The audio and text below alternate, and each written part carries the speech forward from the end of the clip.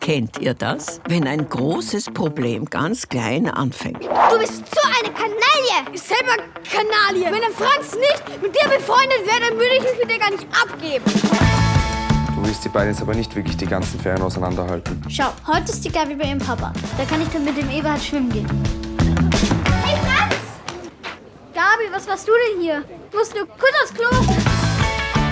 Nur wir zwei. Ich muss kurz aufs Klo. Hast du eine Blasenentzündung? Du bist ein echter Freund. Logo. Oh, was ist das denn? Komm, hey!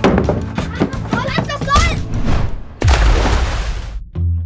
Und dann hat der Franz eine Idee, aber keine gute. Es geht um die Frau Berger. Ich habe sie beobachtet, wie sie nach einem Einbruch nach Hause gekommen ist. Finger weg! Ich habe doch schon immer gewusst, dass mit der was nicht stimmt. Das ist noch lange kein Beweis. Das müssen wir eben sammeln. Für so eine Aufgabe braucht es ein Team. Hans! Wir haben Großes vor. Der Zickzack.